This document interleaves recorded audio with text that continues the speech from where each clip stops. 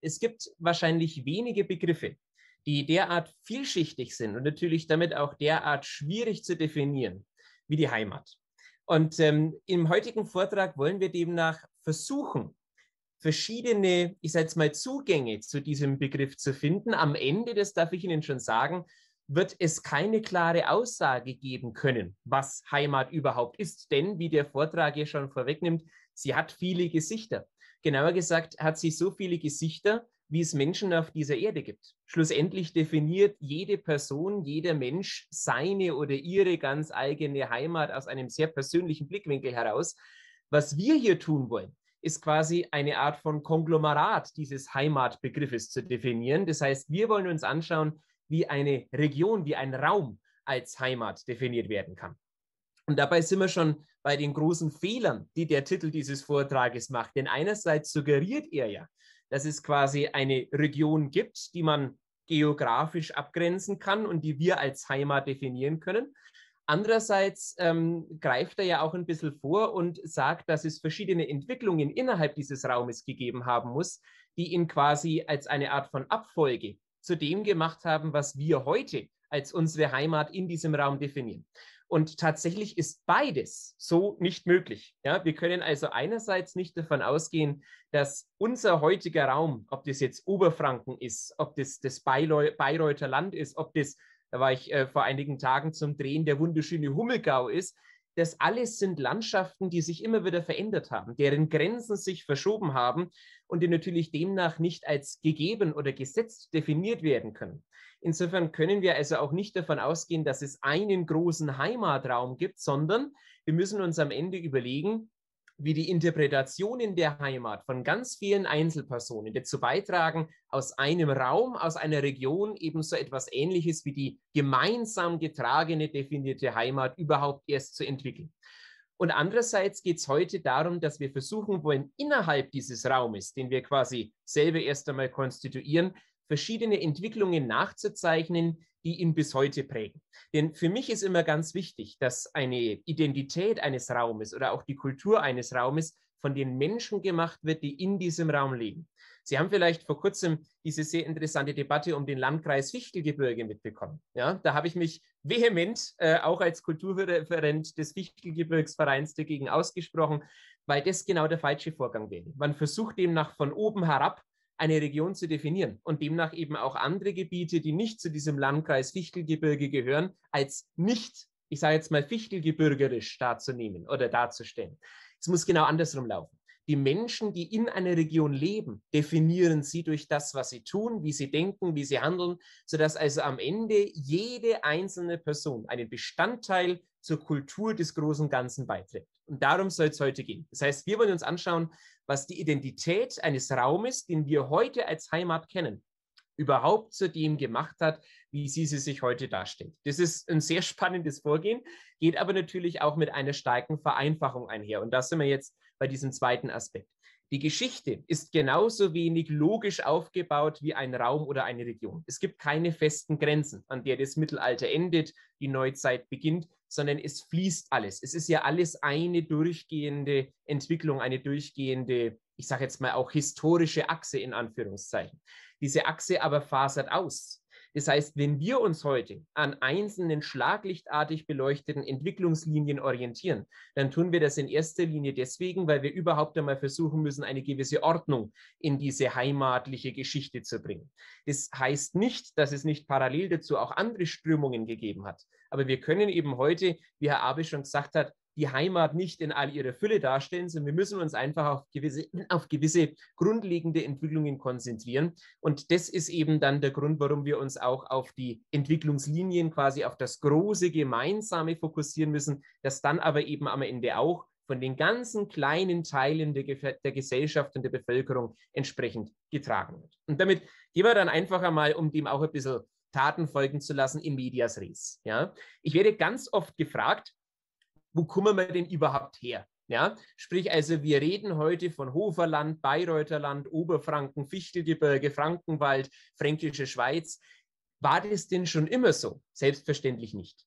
Wir gehen davon aus, dass die Region sich damals noch nicht als großes Konglomerat dargestellt hat. Oberfranken gab es noch nicht. Das ist eine Verwaltungseinheit, die künstlich geschaffen worden ist, sondern dass die Landschaft vorgegeben hat, wie sich die in ihr angesiedelte Kultur etablieren konnte. Und da muss man natürlich jetzt halt auch ein bisschen im Hinterkopf behalten, dass im Rahmen der Forschung sehr, sehr häufig von, ich sage jetzt mal, Entwicklungslinien ausgegangen worden ist, die sich allein aufgrund dieser Landschaft gar nicht so entwickeln hätten können, wie wir es lange Zeit angenommen haben. Das beste Beispiel dafür ist die Besiedlung der Region durch Slawen und Wenden. Und das ist jetzt eben zugleich die Frage, wo kommen wir her? Wir können davon ausgehen, dass die ersten Menschen das Fichtelgebirge, den heutigen Raum Nordostoberfranken, schon in der Steinzeit betreten haben. Damals gab es keine Grenzen, damals war vollkommen egal, ob ich jetzt noch im Egerer Becken bin oder schon im Fichtelgebirge. Ich zog dorthin, wo es jagdbares Wild gab und wo mich die Landschaft, die Natur ernährte. Daran anschließend gab es verschiedene Entwicklungen, die sich teilweise bis in die Bronzezeit fortsetzen lassen. Menschen kamen und gingen, es war eine große Mobilität vorhanden. Aber mit einem Mal hat diese Entwicklung einen Bruch vollzogen. Es gab eine gewisse Zeit, in der scheinbar fast niemand da gewesen ist. Diese Zeit versuchte man in den folgenden Jahrhunderten und gerade eben im 19., als die Geschichtswissenschaft sich sehr stark auch einem neuen Germanentum und Nationalismus öffnete, sehr stark in Richtung osteuropäischer Stämme zu drücken. Die Slawen und Wenden sind hier gewesen, die Kelten seien hier gewesen, teilweise wurde sogar angenommen, die Römer wären da gewesen. Und das alles tat man im Bewusstsein, dass vor dieser Epoche Menschen hier waren, dass anschließend an diese Epoche wieder Menschen hier gewesen sind und dass demnach vollkommen logisch natürlich auch dazwischen Menschen hier gewesen sein müssen. Man versuchte demnach eine Siedlungslücke logisch zu schließen. Und daraus sind, das muss man offen sagen, auch teilweise sehr hanebüchene Theorien entstanden. Bei den Slawen und Wenden ist die Sache jetzt ein bisschen anders. Da kann man davon ausgehen, dieser Volksstamm, der aus dem östlichen Europa, aus dem Altaigebirge stammte, die waren tatsächlich hier. Sie haben sich aber auch nur punktuell in die Landschaft vorgewagt. Und das lag wiederum auch daran, wie die Landschaft sich ihnen entsprechend offenbarte. Ja? Wir hatten damals ein relativ kaltes Klima bei uns. Dazu kommen Böden, die nicht unbedingt sehr fruchtbar gelten, der Hummelgau ausgenommen, wie ich gelernt habe, ähm, sondern die eben sich sehr schlecht für Landwirtschaft eignen. Insofern kann man davon ausgehen, dass diese frühen Siedler, also sprich die Slawen, die Wenden oder eben auch die Menschen, die schon in der vorchristlichen Zeit hier gewesen sind, sich sehr stark an der Landschaft orientierten und sich natürlich demnach auch daran orientierten, wo sie sich denn jetzt niederlassen konnten, wo sie also ein Überleben sicherstellen konnten. Was man nicht machen darf, ist da immer gleich von großen Strömen zu sprechen. Es gibt ähm, verschiedene Bücher, die quasi 300 Dörfer in ganz Oberfranken auf die Slawen und Wenden zurückführen. Und das ist way too much, wie man neudeutsch sagt. Das ist viel zu viel. Ja? Wir müssen davon ausgehen, dass diese erste Etablierung einer Heimat, eines Landschaftsbegriffes, einer Art von Entdeckung einer Region, tatsächlich punktuell erfolgte. Die Menschen kamen und ließen sich nieder. Das hieß aber nicht gleich, dass sie große Strukturen ausbauten, wie wir sie heute kennen, sondern sie gingen auch nach manchen Generationen wieder. Sie haben sich an anderen Orten neu niedergelassen. Es gab also keine Stringenz in der Entwicklung, sondern das Ganze kam durch individuelle, durch persönliche Bewegungen zustande. Und es zeigt eben auch schon, dass die Landschaft, so vielfältig wie sie sich uns heute präsentiert, auch daher kommt, dass es nicht einmal eine leere Region war, die innerhalb von zehn Jahren von zig Millionen von Menschen besiedelt worden ist, sondern dass die Entwicklung punktuell und peu à peu begonnen hat, beziehungsweise sich ausgebaut hat. Insofern kann man davon ausgehen, dass die große zusammenhängende Besiedlung dieser Region tatsächlich eben nicht von Slawen, von Wenden, von Kelten, von Römern vorangetrieben worden ist, sondern dass diese Entwicklung erst dann begann, als sich die Landschaft für eine große Anzahl von Menschen öffnete. Und das tat sie dadurch, dass sich das Klima veränderte. Man kann nachweisen, dass sich im 12. Jahrhundert nach Christus an eine doch sehr lange Kaltperiode eine sogenannte Warmzeit anschloss. Das heißt, das Klima wurde wärmer, die Landschaft öffnete sich entsprechend, es wurde siedlungstechnisch logischer für Menschen, sich hier niederzulassen, schlichtweg, weil sie jetzt eben auch hier oben leben konnten, weil sie Landwirtschaft betreiben konnten, weil sie also nicht mehr darauf angewiesen gewesen sind, eine Landschaft mehr oder weniger zu formen oder aber eben die wenigen Punkte, die sie ihnen vorgab, zu formen und zu nutzen, sondern weil nun plötzlich eine groß angelegte Erfahrbarmachung dieser Landschaft möglich geworden ist. Die ersten Menschen, die man also quasi als mittelalterliche Neubesiedler bezeichnen könnte, die kamen in diese Region nicht etwa aus purer Lust an der Freude, sondern weil die Region schon damals sehr gut angebunden gewesen ist an übergreifende Infrastrukturen. Was Sie hier sehen können, ist damit ein Ausgangspunkt dessen, was wir heute als Heimat sehen. Das ist die Struktur, ja, und zwar die Altstraßenstruktur, die sich teilweise schon aus der karolingischen Zeit abgeleitet hat. Menschen durchzogen demnach die Region auf ihrem Weg von einem Raum zum anderen, beispielsweise von Ost nach West oder auch von Nord nach Süd, einfach weil es der kürzeste Weg für sie gewesen ist und schufen dadurch eine erste Struktur innerhalb der bis dato noch relativ unstrukturierten Landschaft in Form von Straßen. Die Altstraßen, hier sehen Sie äh, ganz typisch eine Ausformung dieser Altstraßen als Hohlweg, hat sich demnach nicht zentral gesteuert ergeben, sondern durch die Menschen, die die Landschaft für sich entdeckt und demnach eben auch genutzt haben. Überall dort, wo sie liefen, haben sich diese Straßen schlichtweg von selbst etablieren können. Und dabei sind natürlich gerade die Hohlwege recht interessant, denn die sind dort entstanden, wo dann beispielsweise eben auch Abhänge zu überwinden waren, wo es also bergab ging, wo demnach die Wägen oder die Reifen und Räder der Wegen sich besonders tief in den Boden gegraben hatten und wo dann eben im Anschluss daran, wenn Schnee reingefallen ist oder wenn es drauf geregnet hat, sich diese Wege immer tiefer eingegraben hatten, wodurch eben die für unsere Region ganz charakteristischen U-förmigen Altstraßen entstanden sind. Diese Altstraßen waren demnach die erste Struktur, die die Region faktisch von außen aus erschlossen hat. Es kamen nun also nicht wie vorher Siedler hierher, die hier lebten, sondern es waren Menschen, die durch die Region zogen und die demnach die Struktur faktisch von sich aus etabliert hatten.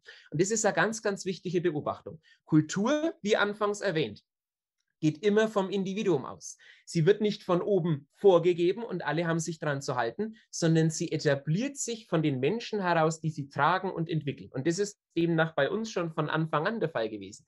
Die Menschen kamen von außen, etablierten die Straßen und Infrastrukturen, die für uns sehr wichtig werden sollten, da kommen wir gleich drauf zu sprechen, und haben demnach eben auch die Struktur der Heimat, die Struktur der Region faktisch von sich aus etabliert. Sie war nicht zentral gesteuert, sondern von Menschen geschaffen, und zwar von vielen verschiedenen Menschen.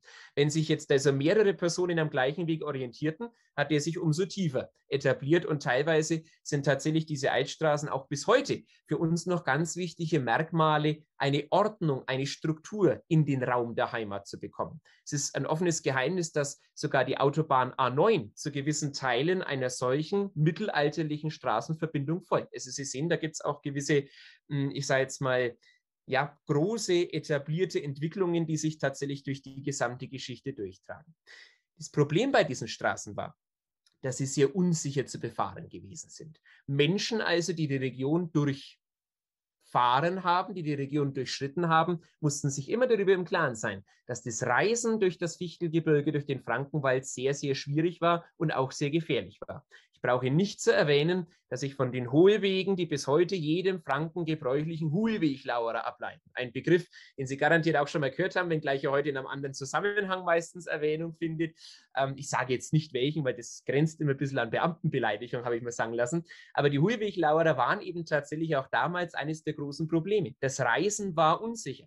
Und demnach drängte man natürlich danach, diese für die Region mit einem mal so wichtigen Verbindungswege, also quasi die Verbindungen von anderen angrenzenden Räumen durch den eigenen hindurch entsprechend abzusichern.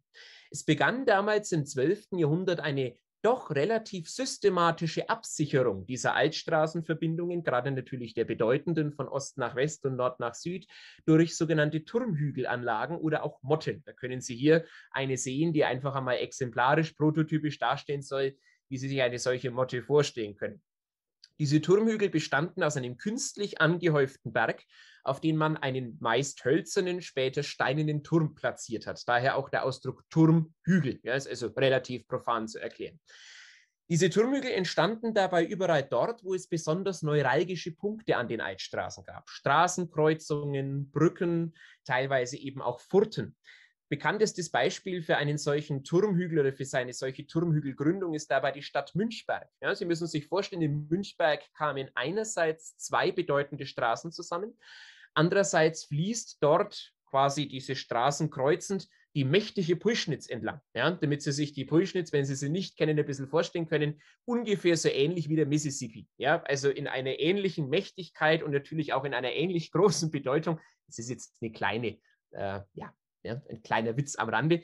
Aber für die Menschen damals war die Pulschnitz natürlich trotzdem ein Hindernis, das man überwinden musste. Man baute demnach oder etablierte dort eine Furt, Natürlich gab es insbesondere dort immer wieder Probleme mit den vorhin erwähnten Urweglauerern. Das ist tatsächlich auch belegbar, dass eben diese Münchberger Senke doch ein ganz ähm, besonderes Ziel und ein ganz beliebtes Ziel für diese Räuber und Heckenreiter gewesen ist, sodass man dort um das Jahr 1100 eben auch einen solchen Turmhügel etablierte. Dieser Turmhügel wurde damals besetzt von einem aus den thüringischen stammenden Hildebrand de Münchiberge, von dem sich eben am Ende auch der Stadtnamen ableiten sollte. Und auf diese Art und Weise sind im ganzen oberfränkischen Raum peu à peu solche kleinen Siedlungsanlagen bzw. Wehranlagen entstanden, die sich dabei an der Struktur der Altstraßen orientierten. Das heißt, nachdem dieser Raum, die Landschaft zum allerersten Mal strukturiert worden war durch eine Infrastruktur, kam es jetzt dazu, dass man sich an dieser Infrastruktur ansiedelte. Und das ist eine ganz wichtige Beobachtung. Es ist also nicht so gewesen, dass die Menschen in den Raum strömten, überall ihre Siedlungen bauten und die untereinander verbanden, sondern es ist genau andersrum. Erst kam die Straßenverbindung, erst kam die Infrastruktur, an der man sich dann bei der Besiedlung der Region orientierte. Und das ist das Besondere, wenn man eben insbesondere von unserer Heimat spricht. Neben den Turmhügeln gab es jetzt natürlich auch die ersten größeren Burgen. Ich habe Ihnen jetzt hier mal als Beispiel äh, den nördlichen Fichtelgebirgsraum mitgebracht, weil man das an dem einfach sehr gut zeigen kann.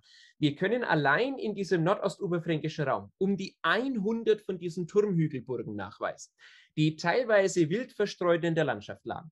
Natürlich brauchte es jetzt für diese Struktur, anders als vorher, eine gewisse zentral vorgegebene Ordnungsmacht. Dabei fallen allen voran die sogenannten Walpoten auf. Walpoten, der Name leitet sich vom Gewaltboten ab, also sprich vom Überbringer einer in diesem Falle kaiserlichen Gewalt in den Raum. Es waren quasi Beamte, schoben sich in diese Struktur ein und wurden damit zum Mittlern zwischen dem Herrschaft zwischen dem Herrschenden, in diesem Falle eben dem Kaiser, und den ganz unten stehenden Personen, in diesem Falle eben jenen, die teilweise auf den Turmhügeln saßen oder aber eben in den kleinen neben den Turmhügeln etablierten Dörfern vor sich hinarbeiteten und wirkten. Diese Walpoten sind für uns deswegen besonders wichtig, weil sie in ihrer Funktion teilweise als Richter, teilweise eben auch tatsächlich als eine Art von Verwaltungsbeamter auch dazu beigetragen haben, eine neue sogenannte adlige Landschaft zu etablieren. Hier sehen Sie beispielsweise eine dieser walpotischen Burgen. Es ist die Ostburg auf dem Waldsteingipfel. Bis heute ähm, gilt sie als die besterforschte Burganlage Nordbayerns jedenfalls mittlerweile mit dem rauen Kulm natürlich, ähm, damals in den 60er Jahren des 20. Jahrhunderts von Karl Dietl archäologisch ergraben. Und er konnte herausfinden, dass diese Anlage höchstwahrscheinlich eben auch im Rahmen dieser ersten Landnahme stand, also einer Art von jetzt tatsächlich von oben herab delegierter Strukturierung einer schon vorher anfänglich besiedelten Region. Nun ändert sich also das Vorgehen. Ja? Wir haben vorhin die ganze Zeit darüber gesprochen, die Menschen kamen und die Menschen machten. Jetzt plötzlich ist es so, dass man doch im Nachhinein versucht, dieses Wilde, diese teilweise ausfasernde Struktur in eine Ordnung zu bringen. Und dazu brauchte es jetzt eben auch lokal aktive Machthaber, Herrschende, die dazu beitragen konnten, das Ganze eben doch am Ende auch in eine beherrschbare Struktur zu bringen. Und da waren eben die Walpoten, wie Sie hier an dieser Burg sehen können, die als eine der ersten Verwaltungssitze dienen darf äh, für den Raum Weißenstadt bis Münchberg, ganz, ganz elementar es ist die Vermutung naheliegend, dass sich aus dieser kleinadligen oder aus dieser adligen Besiedlung am Ende eben auch das etablieren konnte, was wir als Adelslandschaft kennen. Oberfranken ist kleinadliche Landschaft. Wir hatten bei uns relativ spät eine große zentral strukturierte Macht, sondern wir hatten ganz im Gegenteil eine Buntscheckigkeit. Das ist auch damit zu erklären, dass Franken oder Oberfranken ähm, als Region, als eine Art von Verwaltungseinheit nie existierte, sondern dass es ganz im Gegenteil eine Art von, ja, ich sage jetzt mal, Staatlichkeit in der Unstaatlichkeit war. Es war also schon immer der Versuch da, etwas Großes, Gemeinsames zu schmieden, aber es hat eben nie so richtig funktioniert. Ja? Und das kann man eben auch daran äh, oder dadurch erklären, dass sich ausgehend von diesem Prozess der versuchten Struktur in der Region eine Landschaft etabliert hat, die natürlich auch Grenzen damit hochgezogen hat. Überall dort, wo die Walpoten herrschten oder später eben der meist von ihnen abgeleitete fränkische Kleinadel, gab es natürlich auch ein gewisses Bedürfnis, die eigene Region, das eigene Territorium von den jeweils anderen abzugrenzen. Daraus entstand gerade im Hochmittelalter eine erste ja, ich sage jetzt mal Machtlandschaft im Fränkischen, die man ganz wunderbar auch an Karten sehen kann. Ich habe Ihnen hier einmal die Darstellung aus Spindlers historischem Atlas mitgebracht, an der Sie ganz fantastisch sehen können, dass Franken schon immer, wie mein ähm, Landeshistor, also mein Landesgeschichtsprofessor ähm, an der Uni Bayreuth, wie immer sagte der Professor Becker, eigentlich allein durch seine Buntscheckigkeit definiert werden kann. Es gibt eben nicht das eine Franken, sondern Franken zerfasert in unglaublich viele kleine Mosaikteile. Und die leiten sich eben auch ab von jener Struktur, die sich damals im Hochmittelalter ausgehend von der Besiedlung etablieren konnte. Es gab demnach nun kleinadlige Machthaber, auf dieser Karte sind es die ganzen gelben Sprenkel, die Sie erkennen können. Das sind also adlige Territorien, die sich teilweise bis ins 16. Jahrhundert hinein in dieser mittlerweile doch größer strukturierten fränkischen Macht halten konnten. Diese Kleinadligen waren bei uns in der Region beispielsweise die Herren von Künsberg, von Guttenberg, von Spanneck, von Lücher und wie sie alle heißen, die in vielen Fällen zwei bis drei Burgen ihr, ihr eigen nannten als eine Art von Machtzentrale und außenrum einen Machtraum, einen Machtbereich etablieren konnten. Im Falle der Herren von Spanneck deren Kernburg ich Ihnen gerade schon mal gezeigt habe, das ist dieses Teil hier, ja, das Schloss in Spaneck, kann man tatsächlich davon ausgehen, dass sich deren Machtbereich einerseits von einer walpotischen Region ableitet. Ich persönlich habe die Vermutung, dass die Herren von Sparnik, die sich von den Herren von Waldstein ableiten, tatsächlich dadurch eben auch indirekt auf Walpoten zurückführen lassen. Und andererseits eben auch, dass diese kleinadliche Struktur bis heute Bestand hat. Und zwar im Landkreis Münchberg. Gut, den gibt es jetzt, muss man zur Ehrlichkeit sagen, nicht mehr, aber bis in die 1970er Jahre war damit ein Raum etabliert, der sich aus der kleinadlichen Landschaft abgeleitet hatte. Denn genau dort, wie auch die Herren von Sparnik ihr Territorium abgegrenzt hatten, wurde bis 1972 der Landkreis Münchberg entsprechend auf den Karten vermerkt. Insofern fand jetzt in dieser Heimat, in diesem Raum, eine zweite ordnende Macht einen Platz und natürlich damit auch ihren Einfluss. Ja, am Anfang gab es die Straßen, die gaben die Ordnung vor. Jetzt plötzlich übernahmen lokale Akteure alles weitere. Die Kleinadligen fungierten dabei am Beginn teilweise tatsächlich auch als Vertreter der oberen Herrschaft in der Region. Die Herren von Spanneck beispielsweise hatte, hatten wunderbare Kontakte zu verschiedenen deutschen Kaisern, darunter eben auch insbesondere äh, Karl V. Sie waren teilweise sogar als Kaiserpfalzverwalter tätig, waren also demnach eben im direkten Umfeld, im direkten Machtumfeld des Kaisers aktiv und traten damit eben auch als eine Art von Multiplikatoren dieser großen Macht in die Kleinteiligkeit des Raumes auf. Und es war notwendig, weil es eben keine große gemeinsame Struktur gab, sondern weil, wie gerade erwähnt, der Raum zerfaserte in eine unglaubliche Buntscheckigkeit an einzelnen Räumen und Regionen. Und das ist das Interessante bei der ganzen Betrachtung. Ja? Es war also damals der Versuch gegeben, durch eine Art von Aufsplitterung das große Ganze möglichst gut zu repräsentieren, indem man natürlich Gemeinsamkeiten äh, entsprechend voranstellte, aber auf der anderen Seite doch auch lokal agierte. Der Kleinadel trat niemals im Rahmen größerer Auseinandersetzungen auf. Teilweise hatten sie natürlich Gefolgschaft ähm, ähm, ja, versprochen, die sie einhalten mussten, aber in vielen Fällen war der Kleinadel mit sich selbst beschäftigt, mit sich und mit den direkten Nachbarn. Und dadurch war es möglich, diese Region, diesen Raum tatsächlich auch einigermaßen gut während des gesamten Mittelalters zu verwalten. Ein Problem dabei stellte allerdings einmal mehr die Landschaft selbst dar. Sie müssen sich vorstellen, die Macht eines Kleinadels in einem Raum, in einem Machtbereich, fußt natürlich auf diesem Machtbereich selbst. Das heißt, der Adel hat dadurch Einfluss, dass er eine Landschaft beherrscht, die ihm mehr oder weniger gehört und die ihn natürlich auch versorgt. Ich brauche nicht zu erwähnen, dass wir im Mittelalter in erster Linie von Landwirtschaft sprechen, die das geleistet hat. Ja? Die Landwirtschaft in unserer Region hat sich eigentlich bis in die 1920er Jahre nicht groß verändert gehabt. Sie können hier auf dem linken Bild ganz wunderbar ein prototypisches Foto, eine prototypische Abbildung für die Landwirtschaft im Bayreuther Hofer Raum sehen. Es war ganz äh, elementar das Ochsengespann, das Kuhgespann. Ja, erst spät in den 50er Jahren kamen dann die ersten Maschinen auf, die Traktoren, die Bulldogs, wie der Frank gesagt. Ähm, aber bis dahin hatte sich die Landwirtschaft eigentlich nicht groß verändert. Und die Landwirtschaft war natürlich auch im Mittelalter das Standbein und die Machtstütze des Einflusses dieser kleinadlichen Strukturen. Sie fußte demnach auf der Landschaft, ja, die den Kleinadel entsprechend ernährte, die ihm aber natürlich auch Volkschaft schuldig gewesen ist. Dafür hat sie vom Kleinadel entsprechenden Schutz erhalten. Und genau diese Struktur der, ich sage jetzt mal, in sich geschlossenen Wirtschaft, ja, einer Landwirtschaft, die für sich selbst produziert und allein für den lokalen Machthaber, genau diese Struktur schlittert am Ende des Mittelalters in eine erste große Krise.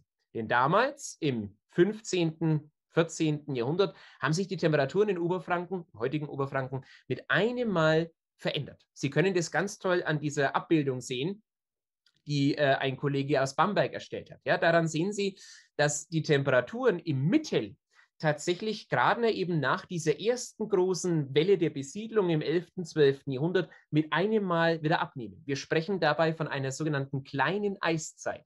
Und wenngleich jetzt der Temperaturunterschied für uns nicht gar so stark ins Gewicht fällt, war er für die Menschen einer Region, die ohnehin relativ schlechte landwirtschaftliche Nutzung zulässt, eine absolute Katastrophe. Im 13., 14. Jahrhundert gingen demnach die Erträge aus dieser Landwirtschaft systematisch zurück und der Raum, der sich bis dato faktisch selbst im Kleinen getragen hat, konnte das nicht mehr sicherstellen. Die Menschen waren nicht mehr dazu in der Lage, sich und natürlich darauf aufbauend auch den Kleinadel selbst zu versorgen, denn es fehlte schlicht und ergreifend an Ertrag. Einmal mehr also etabliert die Landschaft bzw. das Klima der Landschaft einen Wandel in der inhärenten Struktur. Die Menschen werden dazu gezwungen, sich ausgehend von diesen klimatischen Veränderungen ein zweites Standbein zu suchen. Dieses zweite Standbein war für viele das Handwerk. In erster Linie bei uns hier im heutigen Oberfranken ähm, zählt dazu auch die Handweberei. Warum? Flachs, damals der Ausgangspunkt der Handweberei oder der Textilindustrie, der Textilproduktion, konnte mit diesen schlechten klimatischen und geologischen Verhältnissen unseres Raumes gut zurechtkommen. Er wuchs demnach gut und so fingen die Menschen an, während der normalen Feldbestellung im Sommer eben auch Flachs anzubauen, um den in den immer länger werdenden Wintermonaten oder Winterzeiten des Jahres in Hausarbeit weiter zu verarbeiten. Es entstand demnach ausgehend von einer sich selbst ernährenden und erhaltenden Struktur. Jetzt mit einem Mal eine Wirtschaftsstruktur, ein Wirtschaftssystem, das darauf ausgerichtet gewesen ist, und das ist die Krux bei der Sache, die Produkte, die es herstellt, nicht mehr alleine selbst zu konsumieren oder eben nur dem Adel bzw. der Machtstruktur zur Verfügung zu stellen, sondern diese Produkte einem Markt zuzuführen. Das hört sich jetzt recht profan an, aber am Ende muss die, ähm, muss die Erkenntnis stehen, dass sie anders als das Getreide, was sie auf ihrem Feld anbauen, Flachs oder die daraus entstandenen Leinenstoffe nicht essen können. Das heißt also, wenn jetzt die Menschen damit beginnen, sich von dieser sogenannten Subsistenz, von der Selbstversorgung wegzuentwickeln hin zu einem produzierenden Handwerk, dann muss es damit einhergehen, dass ich die Produkte des Handwerkes dem Markt zuführen kann, um dadurch auf der anderen Seite vom Markt wiederum jene Rohstoffe, jene Produkte nehmen zu können, die ich zum Überleben brauche. Man kann das ganz einfach darstellen mit Tauschwirtschaft. Ja, ich produziere ein, ein Leinentuch, gebe das auf den Markt und bekomme dafür Geld, das ich dann am Ende eben dafür einsetzen kann, um mir eine Ware zu kaufen, die ich selbst brauche, die ich selbst als Konsument brauche. Und das ist das, was eigentlich diese Zeit des ausgehenden Mittelalters so unglaublich wichtig macht. Es kommt demnach zu einer neuen Strukturierung des Raums. Die Menschen müssen sich faktisch nach außen orientieren, denn das Kleinteilige funktioniert nicht mehr. Bis dahin war man dazu in der Lage, innerhalb des eigenen Hauses, innerhalb des eigenen Dorfes ein wunderbares, selbstversorgendes Leben zu führen. Alles, was ich brauchte, stellte ich selbst her oder bekam es quasi aus der Dorfgemeinschaft. Jetzt aber, indem ich mich mehr und mehr diesem produzierenden Gewerbe zuwende, bin ich dazu gezwungen, Teil eines übergeordneten wirtschaftlichen Systems zu werden. Ich muss ja meine Produkte irgendwo verkaufen können, um dafür das Geld zu bekommen, das ich benötige, um die von mir gewünschten Produkte einkaufen zu können.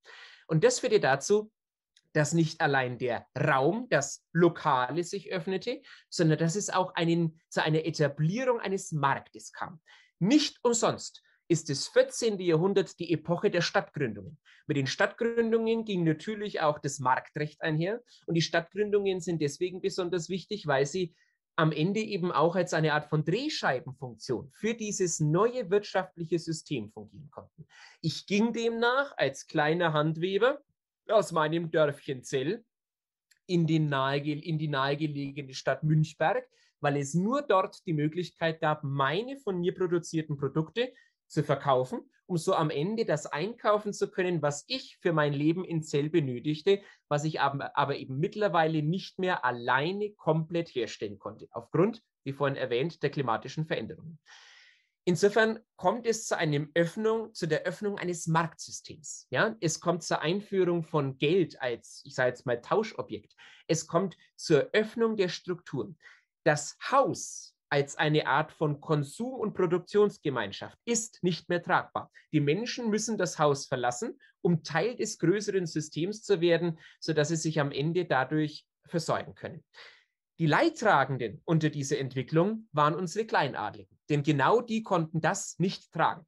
Die Herren von Spanneck beispielsweise, über die wir ja vorhin exemplarisch gesprochen haben, haben ebenfalls eine Stadt gegründet, Münchberg 1364, weil sie genau sahen, dass diese Entwicklung notwendig war. Sie wollten also in Münchberg auch ein Drehkreuz für Handel, für lokalen und regionalen Handel etablieren. Aber am Ende gingen sie daran zugrunde. Denn ihre Machtstütze, it is die lokale Wirtschaftsstruktur, war in diesen jetzt geöffneten ähm, äh, Verhältnissen einfach nicht mehr überlebensfähig. Und insofern schmolz auch peu à peu die Macht dieses Kleinadels in der Region. Ja, es kam quasi zu größeren Ordnungsprozessen, die die kleinen Kleinadligen schlichtweg nicht mehr tragen konnten. Nicht umsonst wendet sich auch in jener Zeit die herrschende Schicht, also in erster Linie natürlich der Kaiser, wenden sich Bischöfe und andere regional agierende Machthaber vom Kleinadel ab. Er war bis dato die Machtstütze innerhalb des Lokalen gewesen und jetzt brauchte man ihn einfach nicht mehr. Ja? Die Herren von Spanneck beispielsweise sinken schon im 15. Jahrhundert in die Bedeutungslosigkeit ab. Ihre einstmals große Position, diese direkte äh, Verbindung zum Kaiser, nützte ihnen gar nichts mehr. Sie sanken immer mehr herab weil es jetzt plötzlich neue Strukturen gab, die einfach wichtiger waren für das Vorankommen des großen Ganzen. Und diese neuen Strukturen waren die Städte. Es waren also nicht mehr die kleinen Machtbereiche, die sich selbst versorgten, sondern es waren die Städte als Mittler zwischen dem Lokalen und dem großen Ganzen. Und genau das führt dazu, dass am Ende eben unsere Kleinadligen zugrunde gehen sollten. Im 16. Jahrhundert werden viele von ihnen unter dem Vorwurf der Plackerei, also das heißt des sogenannten Raubrittertums, verfemt und am Ende vernichtend geschlagen. Interessanterweise von einer Großmacht, die zu großen Teilen von der Freien Reichsstadt Nürnberg finanziert worden ist. Hier sehen Sie exemplarisch das brennende Sparnecker Schloss, das damals im Rahmen der Absbergfehde 1523 in Schutt und Asche gelegt worden ist. Die Spanecker wurden damals angeklagt, einem Raubritter Hans Thomas von Absberg Beistand geleistet zu haben. Und darin erkannte die Stadt Nürnberg einen wunderbaren Vorwand, um diese schon längst überalterten Machtstrukturen des, in der, innerhalb der, der Region, innerhalb der Räume ein für alle Mal aus der Welt zu schaffen. Ja? Unterstützt wurde die Stadt Nürnberg dabei auch von den Markgrafen von Brandenburg-Kulmbach, den Hohenzollern, die in jener Zeit als neue, große, zentrale Macht dieses sich langsam etablierenden Territoriums aufgetreten waren und natürlich, die natürlich auch ein Interesse daran hatten, diese ganzen gelben Sprenkel aus der Region herauszubekommen. Sie sehen schon, dass sich innerhalb des heutigen Nordostoberfrankens damals ein großer blauer Raum etabliert hat, ein erstes zusammenhängendes Machtterritorium. Natürlich wollten die dort ansässigen Markgrafen von Brandenburg-Kulmbach diese ganzen gelben Sprenkel daraus haben. Und deswegen kam es ihnen gerade gelegen, dass viele der dort ansässigen Kleinadligen ich sage jetzt mal, sich im 16. Jahrhundert mehr und mehr dieser Plackerei, dieses heute sogenannten Raubrittertums äh, verschrieben hatten, worin man eben einen wunderbaren Vorwand erkannte, um sie ein für alle Mal aus der Welt zu schaffen. Wie grausam man dabei vorging, sehen Sie daran, dass wir bis heute der Meinung sind, dass die Städte, dass Nürnberg, dass die Markgrafen von Brandenburg-Kulmbach Recht daran getan haben, derart vehement gegen den kleinen Adel vorzugehen. In Wahrheit ist die äh, Struktur sehr viel komplizierter, denn der Kleinadel hat durch diesen Versuch der Plackerei, durch dieses Heckenreiten, einfach versucht, den Status quo zu halten. Man hat nicht aus purer Lust an der Freude die durchziehenden Händler und Kaufleute überfallen, sondern man hat ganz im Gegenteil allein in der Plackerei die Möglichkeit erkannt, das Ausgreifen dieses neuen kapitalistisch geprägten Systems mit den Städten im Fokus aufhalten zu können. Ja? Der Kleinadlige in Sparnik konnte nicht gegen Nürnberg ins Feld ziehen. Das hätte er sich gar nicht leisten können, geschweige denn erlauben können. Was er aber tun konnte, war das Ausgreifen dieser neuen Struktur, dieser neuen kapitalistisch geprägten Machtstruktur entgegenzutreten, indem er versuchte, das Wachstum zu blockieren. Und das tat er, indem er die Warenströme einstellen wollte, indem er die Warenströme quasi abbrechen wollte. Und dazu war die Plackerei notwendig. In den meisten Fällen haben diese Kleinadligen also den Menschen gar nichts angetan, die sie überfielen, sondern sie haben ihnen einfach die Waren geraubt, um dadurch eben in einem, in einem Akt von, ich sage jetzt mal, ja auch blinder Verzweiflung zu versuchen, diese sich abzeichnende Entwicklung irgendwie aufhalten zu können. Dass es ihnen nicht gelungen ist, zeigen am Ende eben auch solche wunderbaren Darstellungen wie dieser Holzschnitt hier aus dem berühmten Bamberger Burgenbuch. Denn schlussendlich schlug die neue Machtinstanz vehement zurück. Mit 12.000 Soldaten, die sich Nürnberg nicht etwa wie die Kleinadligen durch Gefolgschaft aus der Region aufgebaut hatte, sondern die Nürnberg einfach eingekauft hatte durch das große Kapital, das die Stadt damals angehäuft hatte, war das kein Problem. Konnte man gegen die Kleinadligen ins Feld ziehen und sie innerhalb von knapp anderthalb Monaten faktisch von der Landkarte tilgen.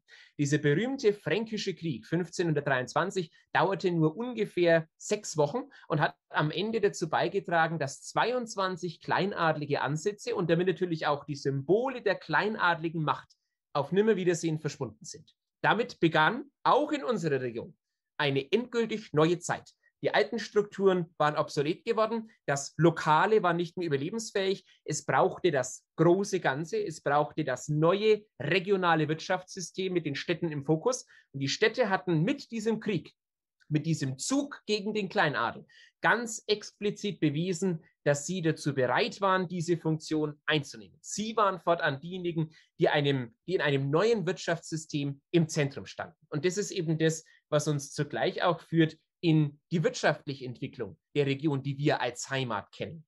Ich habe vorhin ja schon die Handweberei als einen der Wirtschaftszweige einmal exemplarisch herausgegriffen. Das würde ich gerne noch einmal tun. Die Handweberei funktionierte demnach dadurch, dass ich Produkte selbst anbaute, in diesem Falle den Flachs, dass ich diese Produkte weiterverarbeitete zu Leinen und diese Leinenprodukte am Ende auf den großen Märkten in den Städten und den anderen neuen Zentren der Wirtschaftsstruktur verkaufte. Natürlich hat es dazu beigetragen, dass schlussendlich es Menschen gab, die sich mehr und mehr allein auf dieses Handwerk konzentrierten, die also eingesehen haben, dass es diese Verbindung aus Landwirtschaft und Handwerk gar nicht mehr brauchte, sondern dass ich alleine durch das Handwerk teilweise sogar sehr viel besser leben konnte. Und das führte dazu, Oh, ja, eine Frage noch kurz vom, von einem Hans. Was heißt Plackerei? Plackerei ist der zeitgenössische Ausdruck für Raubrittertum. Ja? Raubritter selbst ist ein Begriff der Romantik. Der wurde also im 18., 19. Jahrhundert überhaupt eingeführt. Im Mittelalter sprach kein Mensch vom Raubritter. Damals sprach man vom Placker, also von demjenigen, der quasi ähm, Menschen überfällt. Das war der Placker oder eben auch der Heckenreiter, weil er durch die Hecke ritt, um dadurch ja dann am Ende die Menschen überfallen zu können. Ja? Ganz genau. Äh, kommen wir zurück zum, zur Handweberei. Es gab jetzt also Menschen, die sich von dieser Landwirtschaft, von dieser lokalen Landwirtschaft verabschiedeten. Und damit ging auch eine neue Strukturierung der Landschaft einher. Denn diese Menschen gaben ja auch die Feldbewirtschaftung auf. Das heißt, sie konzentrierten sich mehr und mehr auf das produzierende Gewerbe. Bis heute sind die berühmten Handweberhäuschen in unserer Region relativ weit bekannt, wenngleich es leider immer weniger von ihnen gibt. Ich habe Ihnen hier einmal ein prototypisches Beispiel mitgebracht aus meinem Heimatdorf Zell. Diese Häuser, die teilweise noch im 18., 19. Jahrhundert auch neu gebaut worden sind, bestanden aus äh, einer Zweiteilung. Ja, es gab also auf der linken Seite neben der Haustür den Wohnbereich, in dem in den meisten Fällen auch der Webstuhl stand. Wie genau das aussah, sehen Sie auf dem Foto links. Und es gab im rechten Teil in den meisten Fällen einen kleinen Stall, in dem eben bei den Handwebern ganz oft eine Ziege, in manchen Fällen, wenngleich nicht allzu häufig, auch eine Kuh äh, ihren Unterstand gefunden hatte. Und das war es schon. Ja? Manchmal gab es, wie in diesem Fall, noch ein Obergeschoss, da befanden sich dann eben Schlafräume etc. drin oder auch die Tenne. Manchmal waren diese Gebäude aber auch nur eingeschossig. Und jetzt müssen Sie sich vorstellen, in diesen kleinen Häusern oder ja, in diesen kleinen Häusern war die Grundlage zu suchen für die Wirtschaftsstruktur unserer Region das ist für mich bis heute ganz fantastisch zu beobachten, denn ich promoviere zur Textilindustrie in Oberfranken, äh, zwar mit Blick auf die Mechanisierung, aber da ist natürlich auch diese ganze Vorentwicklung ganz interessant. Und man kann tatsächlich sagen, dass sich hier eine erste Konstante etabliert hat. Die Textilindustrie gemeinsam mit anderen großen zuarbeitenden Betrieben, Spinnerei oder nachbearbeitenden Betrieben wie der Abitur, der Textilveredelung, war bis in die 1980er Jahre hinein für die gesamte Landschaft faktisch prägend. Ja, es gab auch andere. Es gab die Korbflechterei, es gab äh, die Porzellanindustrie, das ist vollkommen klar. Aber die meisten dieser großen Industrien fußten auf der handwerklichen Tradition. Die Korbflechterei genauso wie auch das Textil. Das Einzige, was quasi neu dazu kam, war das Porzellan, was schlichtweg daran lag, dass man äh, das äh, Kaolin als Ursprung oder als äh, Urstoff des Porzellans erst sehr viel später entdeckt hat und weil natürlich auch die Rezeptur zur Herstellung des Porzellans relativ jung ist. Wir sprechen hier von Böttger, der das ja im 18. Jahrhundert entwickelt hat. Aber die anderen großen Industriezweige der Region, Textil, ähm, genauso eben wie auch die Brauerei beispielsweise, leiten sich ab vom Handwerk. Das Handwerk aber wiederum war, wie wir ja gerade gesehen haben, geprägt worden von der Landschaft und von ihren Vorgaben. Das heißt, wir können schon mal sagen, dass die Heimat, dass die Landschaft, dass der Raum in Anführungszeichen die eigene bis heute existente Struktur faktisch mit den in ihm lebenden Menschen selbst etabliert und selbst entwickelt hat. Und das finde ich an unserer Region dermaßen spannend. Es gab also quasi keine großen, von oben herab verordneten, ich sage jetzt mal, Leitkulturen, keine großen Zusammenhänge, die vorgegeben worden sind, an denen man sich zu orientieren hatte, sondern alles entwickelte sich von unten herauf selbst und führt dadurch eben auch zu dieser Buntscheckigkeit. Wir haben nun aber, Stichwort von unten herauf, ein großes Problem. Wenn Sie sich vorstellen, je mehr Sie sich auf ein Handwerk konzentrieren, desto mehr treten Sie natürlich auf diesem großen oder größer werdenden Markt auch in Konkurrenz zu Mitbewerbern. Ja?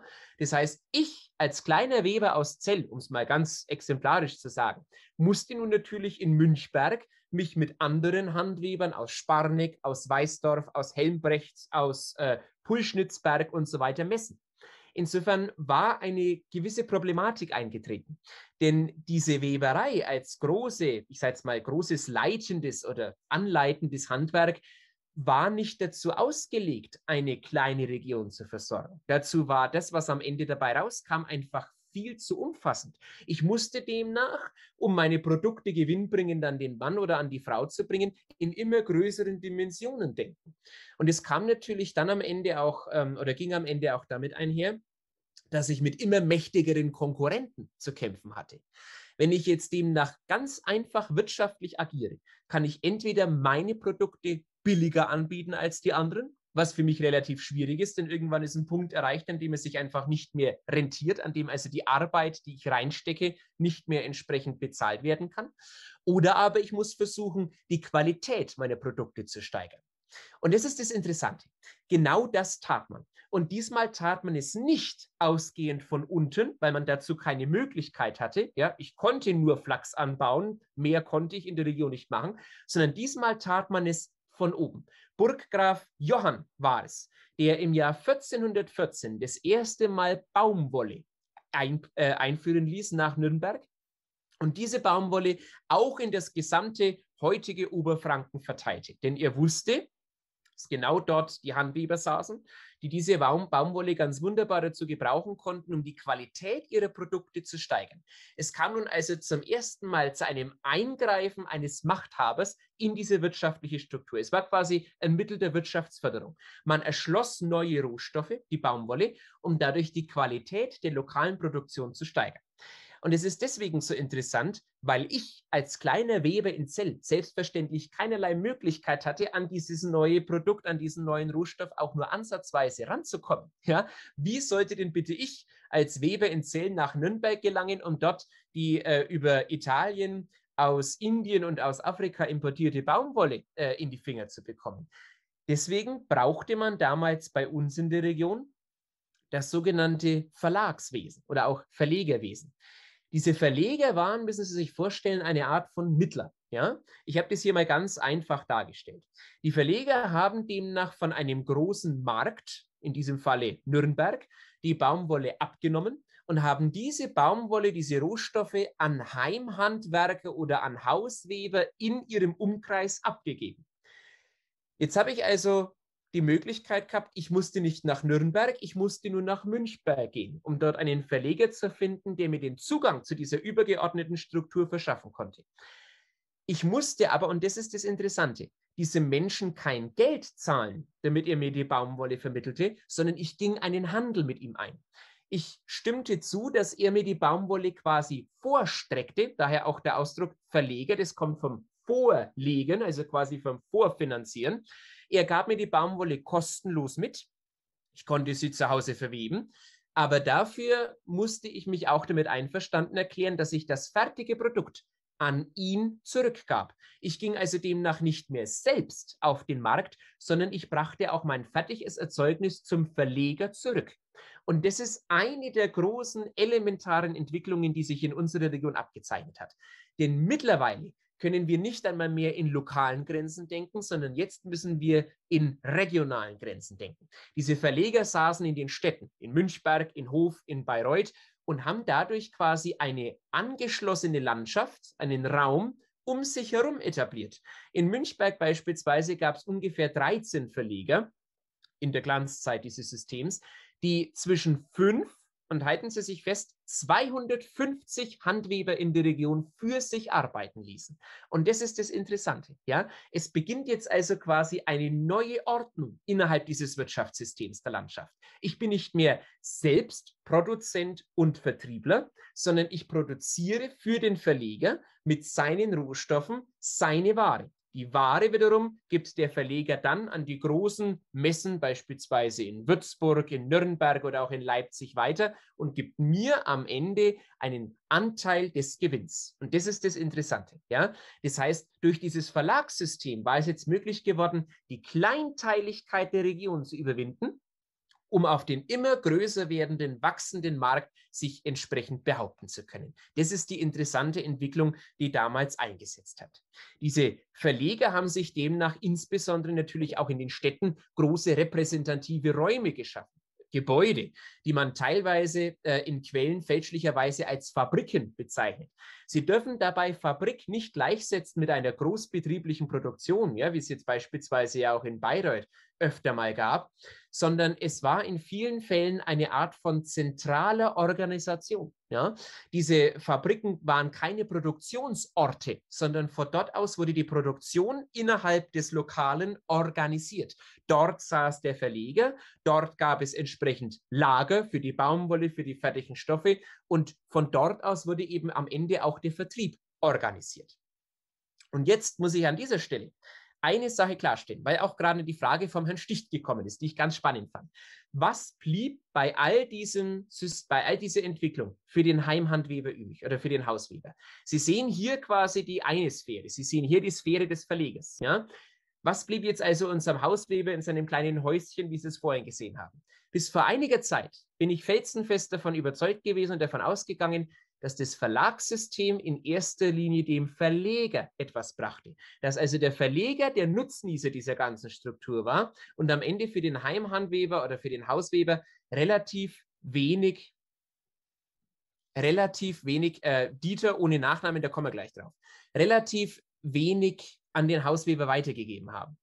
Mittlerweile aber kann ich sagen, die Verleger und damit eben auch diese Verlagszentren waren ja darauf angewiesen, dass die Hausweber für sie produzierten. Das heißt also, sie können davon ausgehen, dass in der Hochzeit dieses Systems, da sprechen wir gerade auch vom 18. Jahrhundert, es eigentlich ein adäquates Auskommen gab. Ja, für die Heimhandweber genauso auch wie für die Verleger. Es gab also in der Textilproduktion nicht dieses ich sage jetzt mal Malochen, ja, dieses Ausnutzen der Arbeitskraft bis hin zum, äh, am Ende bis zur, zur Hungersnot, sondern man schaut hier schon darauf, dass man ein System schaffen konnte, das allen Beteiligten am Ende zu einem guten Auskommen verhalf. Die Verleger waren dabei die wichtigsten Personen, denn sie fungierten als Mittler zwischen dem großen Markt, der sich mittlerweile, wie gesagt, von Würzburg bis Leipzig erstreckte, und dem kleinen, lokal agierenden Handweber in den Dörfern, in Zell, in Spaneck, in Weißdorf etc. pp. Diese Handweber hätten ohne die Verleger nicht überleben können. Denn ohne die Verleger hätten sie keinerlei Zugriff auf diese großen Marktstrukturen gehabt. Die Verleger wiederum hätten ohne die Handweber nicht überleben können, denn sie selbst produzierten nicht. Sie ließen das ja für sich erledigen. Und deswegen etablierten sich damals die sogenannten Fabriken, ja, diese Verlagszentren, in denen der Verleger saß und als eine Art von, ich sage jetzt mal, Zentrum dieses neuen Netzwerks agieren konnte. Fabrik ist dabei nicht gleichzusetzen, wie gerade erwähnt, mit einer großbetrieblichen Produktion, mit einer mechanischen großbetrieblichen Produktion, sondern es kommt schlicht und ergreifend von der Produktivität per se. Fabrik bedeutet demnach einfach etwas herstellen, etwas tun, ja, geschäftstüchtig sein, ne? etwas produzieren, was ich verkaufen kann. Insofern sind diese frühen Fabriken, diese Verlegerzentren eben tatsächlich auch in erster Linie als Orte des Vertriebs wahrzunehmen. Dort spielte sich alles ab. Ja? Die Fabriken dienten gemeinsam, oder die Verlagszentren dienten gemeinsam mit den Verlegern als Person, als Mittler zwischen dem lokalen und dem großen interregionalen. Das ist eigentlich eine der elementarsten Aussagen. Nur als kleiner Punkt für Sie, damit Sie sich ein bisschen vorstellen können. Die Hochburg dieses Verlags war damals tatsächlich äh, Hof, ja, ähm, äh, es gab auch in Münchberg einige Verleger. Wir kennen auch äh, die Hardenbergsche Zusammenstellung aus der preußischen Zeit. Hardenberg erkannte in diesem Verlagssystem eine der großen Vorteile der Region. Er hat es explizit gefördert, weil er sagte, nur damit kann die Region überhaupt überleben. Ich muss also quasi weg von diesem einzelnen Produzenten. Ich muss hin zu großen Zusammenschlüssen aus Produzenten unter einem Verleger, um damit eben auch das große Ganze entsprechend bedienen zu können. Und äh, insofern können wir davon ausgehen, dass sich schon damals in dieser Epoche das entwickelt hat, was wir bis heute als das deutsche Textildreieck kennen. Ausgehend von den Städten Bayreuth, Hof und Münchberg, Kulmbach gehörte auch noch dazu, auch wenn es ein bisschen äh, abseits gewesen ist, hat sich demnach damals eine Art von Zentrum etabliert, bei dem jeweils die Verleger aus den Städten heraus die sie umgebende Landschaft entsprechend äh, an sich gebunden haben. Und das ist jetzt das Interessante. Ja? Im Vergleich zu vorher, wo ja der Kleinadlige in der Landschaft saß und die Stadt nur ein Teil davon war, nehmen jetzt die Städte die Rolle des Landschaftsbildners ein. Dort nämlich fließen alle Ströme zusammen. Ja? Die Stadt wird damit faktisch zu einer Art von Zentrum für die sie umgebende Landschaft, in der die Heimweber saßen, in der die Menschen saßen, die in die Stadt kamen, um dort ihre Waren zu verkaufen, etc. pp. Damit werden eben auch aus den Verlegern faktisch Akteure, die die Landschaft voranbringen, die die Landschaft damit quasi auch ein Stück weit prägen und neu strukturieren. Und ich brauche nicht zu erwähnen, dass damit einhergehen natürlich auch ein neues Selbstbewusstsein dieser Personengruppe auftrat. Im 19. Jahrhundert etabliert sich das, was man als Bürgertum kennt. Das Bürgertum die sich bis heute in erster Linie eben auch im biedermeierlichen, in der biedermeierlichen Ausstattung wiederfindet, hat sich damals unter anderem eben auch auf Grundlage dieser neuen starken Wirtschaftsklasse des Verlegers beziehungsweise eben dieser neuen Unternehmer etablieren können. Und interessanterweise tut es das überall dort, wo die Verleger sitzen, ja, in Hof, in Bayreuth, in Münchberg. Überall kommt es im frühen 19. Jahrhundert zur Gründung von sogenannten Bürgerressourcegesellschaften. Die Bayreuther Bürgerressource beispielsweise ähm, befand sich in einem Haus in der Nähe ähm, des ähm, neuen Schlosses. Ja? In Hof beispielsweise gibt es sogar bis heute die Gartengesellschaft, die quasi auch ein Überbleibsel dieses bürgerlichen ähm, Selbstbewusstseins darstellt. Und diese Bürger waren es nun, die auch in einer Art von neuem Selbstbewusstsein sich dieser Rolle als Landschaftspräger, als Landschaftsbildner sehr stark bewusst geworden sind. Als Verleger als Unternehmer war ich demnach auch Bürger. Es gab auch noch andere, es gab auch Großhandwerker, die zu diesem Bürgertum gehörten, aber es war eben schon eine neue Instanz innerhalb der Gesellschaft, die sich auch ein Stück weit von dem Rest der Gesellschaft abzugliedern vermochte oder versuchte. Und das tat sie eben im Rahmen dieser doch sehr elitär strukturierten Bürgergesellschaften. Diese Bürger sind für uns deswegen wichtig, weil sie in einem neuen Akt von ja auch Landschaftsprägung dazu beitragen, das, was wir heute als Heimat kennen, ganz, ganz elementar zu beeinflussen. Denn diese Bürger waren es, die im Rahmen auch eines romantischen Denkens, eines aufkeimenden Nationalismus zu Akteuren einer Landschaftsstrukturierung geworden sind. In Wunsiedel beispielsweise haben diese Bürger damals den Bürgerpark Luisenburg etabliert. In Hof haben sie den Bürgerpark Theresienstein etabliert. Ja. Das alles sind Versuche, eine Art von bürgerlichem Verständnis einer Landschaft zu schaffen. In Münchberg, und das ist ein interessantes, äh, ein interessantes Fakt, gab es erst in den 1870er Jahren einen Stadtpark, einen Bürgerpark. Vorher gab es das nicht. Und ich habe mich lange Zeit gefragt, warum bis ich am Ende draufgekommen bin, dass die Münchberger einen solchen Park gar nicht brauchten, weil sie die Landschaft, die Natur, die sie so stark äh, anzog, als Bürger, als Lustwandler, als früher Tourist quasi vor der Haustür hatten. Die Münchberger zog es damals auf den Waldstein, der in der Mitte des 19. Jahrhunderts das erste Mal touristisch erschlossen worden war, explizit für das Bürgertum. Ja, man baute ein Hospiz im geselligen Schweizer Stil, man baute kleine Pavillons, kleine Schirmchen dahin. Und insofern fand man am Waldstein eben das, was der Bürger im Rahmen seiner Wahrnehmung der Landschaft vorzufinden äh, vermochte oder vorfinden wollte. Er fand das Göttliche, die Natur, die Schöpfung, ja, mit all ihrem Chaos. Er fand aber auf der anderen Seite auch die alten Insignien der vorhergehenden Mächte, der Kleinadligen, der Ruinen,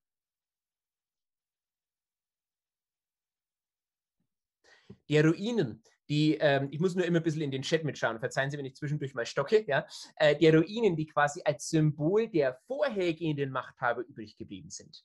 Sie kennen alle den Ausdruck Burgenromantik. Ja, das kommt nicht von ungefähr. Man hat quasi diese alten Überbleibsel, diese Relikte der Vergangenheit für sich entdeckt und hat sie natürlich auch dadurch ein Stück weit definiert wenn ich als Bürger der Neuzeit, als Bürger des 19. Jahrhunderts auf den Waldstein gegangen bin, dann tat ich das auch, um die Relikte faktisch meiner Vorgänger als lokaler Machthaber und Struktur, äh, Strukturvorgeber entsprechend zu betrachten. Ja?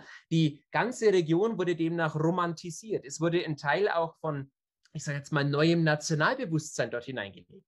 Es gab ja in jener Epoche des 19. Jahrhunderts auch ein ganz, ganz starkes Streben in Richtung dem einen großen gemeinsamen Deutschland. Und natürlich wollte man das auch auf der jeweiligen Tradition, sprich in diesem Falle eben auf den Kleinadligen, die damals in der Region äh, des Mittelalters äh, äh, die Macht inne hatten, aufbauen. Ja? Die Bürger also drängte es in die Region, in die ländliche Region. Und überall dort, wo das nicht möglich war, holte man die Region zu sich. Man baute demnach das Idealbild des romantischen Naturidylls einfach künstlich nach. An der Luisenburg, am Theresienstein in Hof, dort hat man im Übrigen zu allem Überfluss sogar 1870 eine eigene künstliche Burgruine geschaffen, weil man eben keine hatte, aber auch eine haben wollte. Insofern sind die Bürger diejenigen, die im 19. Jahrhundert unser Bewusstsein vom Raum, vom ländlichen Raum ganz, ganz stark prägen. Wenn Sie heute an Waldidyll, an Heimatliebe denken, dann denken viele von Ihnen in erster Linie an Vorstellungen, die vom Bürgertum stammen, von den frühen Lustwandlern, von den frühen Touristen. Sie denken an geordnete Wege, sie denken an kleine meandernde Flüsse, das aber ist die Natur nicht. Die Natur ist eigentlich wild, sie ist chaotisch. Da liegen einmal Bäume über den Weg drüber. Ja? Was wir also heute als natürliches Idyll wahrnehmen, ist in Wahrheit das vom Bürger oder vom romantischen Bürger definierte Bild einer Landschaft, das er vorgegeben hat. Und es zeigt auch schon, wie nachhaltig diese Entwicklung damals gewesen ist. Ich habe vorhin ja schon erwähnt, äh, jetzt muss ich mal kurz auf die Fragen eingehen. Erste Frage, äh, die Bürger waren ja aber nicht alle Verleger, was dann noch, wie gerade erwähnt. Äh, zum Bürgertum gehörten natürlich auch größere Handwerker. Ja? Zum Bürgertum gehörten unter anderem auch die Stützen des gesellschaftlichen Lebens, wie beispielsweise in Münchberg nachweisbar ähm, der Bürgermeister, der, der Pfarrer, ähm, der Jagdvorsteher. Ja? Also quasi diese doch auch ich sage jetzt mal, tonangebenden Stützen einer Gesellschaft. Auch die prägten selbstverständlich das Bürgertum, der sich aber eben zu größeren und immer größer werdenden Teilen auch aus einer wirtschaftlichen Elite ableitete. Nächste Frage von Frau Schleicher. Wie sind hier die Weber einzuordnen? Das Interessante ist, ähm, ich habe es ja vorhin schon kurz erwähnt, ähm, ich ging am Anfang meiner Dissertation auch davon aus, dass die Weber faktisch ein Gesellschaftsbild in ganz Deutschland darstellen. Dass also auch bei uns äh, im 19. Jahrhundert eine mehr und mehr, ich sage jetzt mal, malochende Arbeiterschaft, einem mehr und mehr genießenden Bürgertum gegenüberstanden. Dass also quasi die Bürger diese Entwicklung, die ich gerade skizziert hatte, auf dem Rücken der einfachen Menschen ausbauten. Und da muss man äh, in aller Deutlichkeit sagen, dem ist nicht so. Ja? Ähm, es ist tatsächlich nachweisbar, dass in jener Zeit, in der eben auch die Weber angesiedelt sind, es auch bei uns in der Region zu großen, großen Krisen kam. Das hing allerdings nicht alleine mit der wirtschaftlichen Struktur zusammen, sondern es ging einmal mehr aus von klimatischen beziehungsweise von, äh, ich sage jetzt mal, natürlichen Verhältnissen. Es ist beispielsweise nachweisbar, dass in den 1840er Jahren eine ganze Reihe von Missernten aufgetreten ist.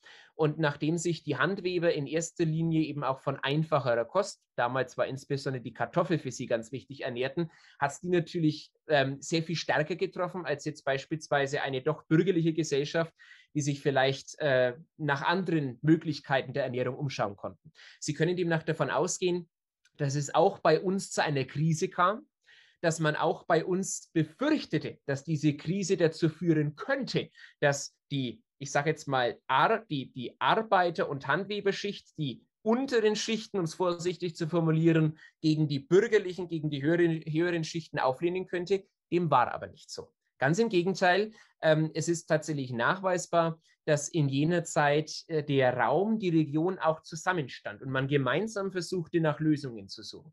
So ist es beispielsweise belegt, dass sogar die königlich ähm, bayerische Regierung einschritt und beispielsweise eben Aufträge in die Region gab, um quasi den Webern einen Mehrwert an Kapital zu liefern oder aber eben auch, dass man Saatkartoffeln spendete, um den Menschen hier oben äh, der, dabei zu unterstützen, sich selbst zu versorgen durch den Anbau von Kartoffeln. Ja?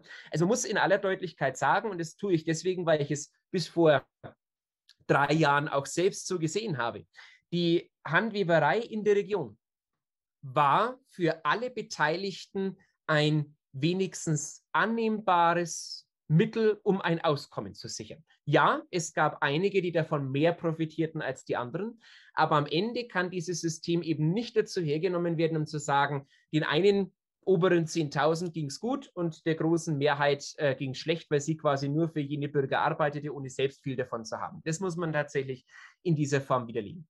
Aber Sie sehen daran schon, dass die Entwicklung dieser Region eben nicht von oben herab vorgegeben worden ist, sondern dass es alles von unten ging. Die Weber brauchten die Verleger, ansonsten hätten sie keinen Zugang zu diesen großen Marktstrukturen gehabt. Sie hätten weder die Rohstoffe bekommen, noch hätten sie ihre Produkte abgeben können. Genauso brauchten die Verleger aber die, die Weber unter sich, weil sie eben Menschen brauchten, die für sie produzierten. Und das ist eben das, was diese Zeit des 18., 19. Jahrhunderts so interessant macht.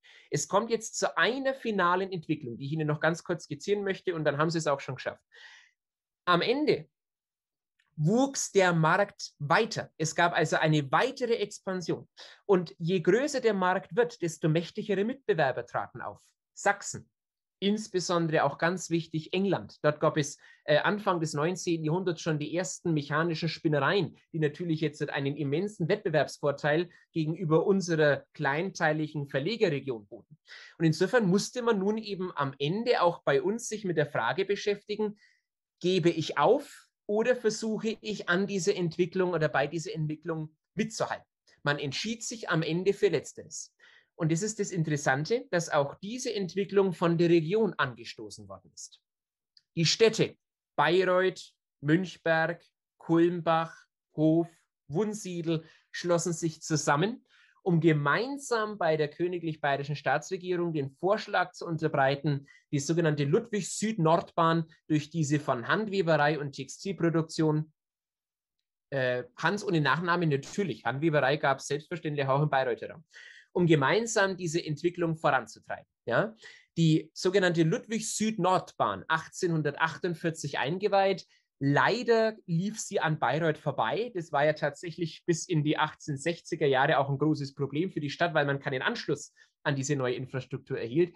Diese äh, Ludwig-Süd-Nord-Bahn war demnach eben jener Turbo, den die Region jetzt nochmal zünden konnte, um mitzuhalten mit der immer größeren Entwicklung, die um sie herum schon angefangen hatte. Ja? Man war sich darüber im Klaren, wenn ich mithalten will mit England, mit Sachsen, mit den anderen großen Weberregionen, dann muss ich noch einmal investieren. Ja? Und investieren kann ich nur dann, wenn ich die gleiche Ausgangssituation habe wie die Mitbewerber. Wenn ich also auch mechanisieren kann. Das konnte man damals bei uns aus einem ganz einfachen Grund nicht. Es fehlte die Kraft, es fehlte die Energie. Die Flüsse, die wir hatten, waren meistens nicht so stark, dass man da Turbinen hätte antreiben können. Und insofern brauchte man händeringend zur Mechanisierung der Arbeit die Kohle. Diese Kohle gab es in Bayern oder in Oberfranken nicht. Und deswegen entschloss man sich dazu, die Ludwig-Süd-Nordbahn eben auch dazu zu nutzen und das Zwickauer Revier zu erschließen. In Zwickau gab es die Kohle, die teure Steinkohle, die ab 1848 importiert werden konnte. Und das Interessante ist, dass mit dieser Erschließung der Steinkohle es auch zur sogenannten Mechanisierung der Arbeit kam.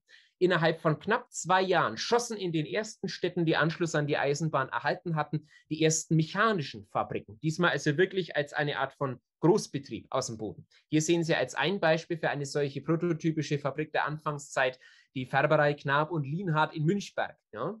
Die erste äh, Dampfmaschine, die in der Region eingesetzt war, tat ihren Dienst bekannterweise in Hof 1851. Ja, das heißt, knapp drei Jahre nach dem Anschluss an das Kohlerevier in Zwickau gab es jetzt auch bei uns schon die ersten Dampfmaschinen, die dazu beitrugen, dieses bis dato händisch betriebene System auf eine ganz neue Ebene zu bringen. Und damit beginnt eben das, was man gemeinhin als Hochindustrialisierung kennt. Erst kamen die großen Spinnereien dran, in Bayreuth beispielsweise, ja, in Kulmbach, in Hof. Die Weberei indes blieb weiterhin bei der händischen Produktion. Warum? Das Wissen, das damals in der Region herrschte, beziehungsweise eben auch die Fertigkeit der Handweber war noch nicht mechanisch umsetzbar. Es gab diese Maschinen noch nicht, die das konnten, was die Weber konnten. Deswegen industrialisierte oder mechanisierte sich zuallererst einmal die Spinnerei außenrum.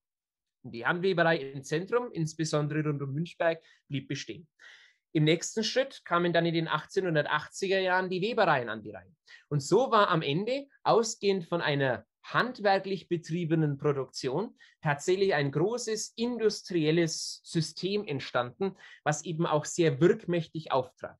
Als Beispiel sehen Sie hier eine wunderbare Allegorie, die stammt aus einem Prachtband der Aktienfärberei, der vormaligen Färberei Knab und Lienhardt in Münchberg, die die Industrie als eine Person zeigt, die den Lorbeerkranz in Richtung des Heldenfeuers streckt und die eben damit auch die Macht zeigt, die die Industrie mittlerweile hatte. Ja, äh, es gab da sehr viele Zwischenfälle auch zwischen Industrie und Politik, auf die wir jetzt nicht weiter eingehen müssen. Es gab quasi eine Lobbyarbeit. Ja, ähm, und am Ende führt eben diese neu gewonnene Macht auch dazu, dass man ein unglaublich gesteigertes Selbstbewusstsein hatte.